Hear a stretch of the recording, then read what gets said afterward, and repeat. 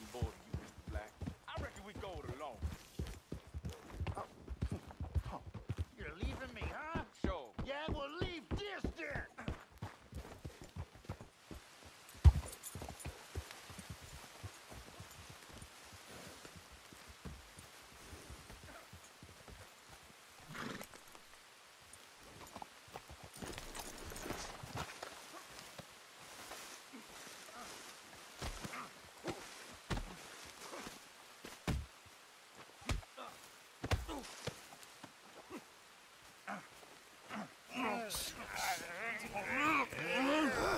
What are you fools up to? It's Mr. Black's fault. His fault, the darky white.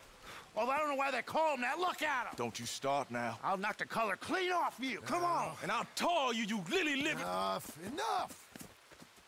Say, you two fools look like you've just run off from a chain gang.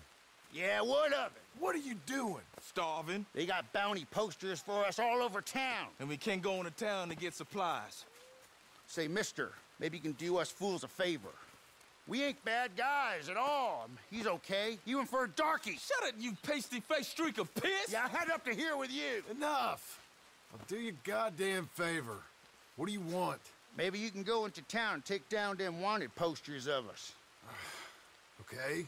Maybe meet us back at the campfire in the woods and tell us how you did. Uh, maybe bring us a little bite to eat. Don't push your luck. Nice fella. Yeah, you love nice fellas. Don't you start up again. Just shut up. You shut up!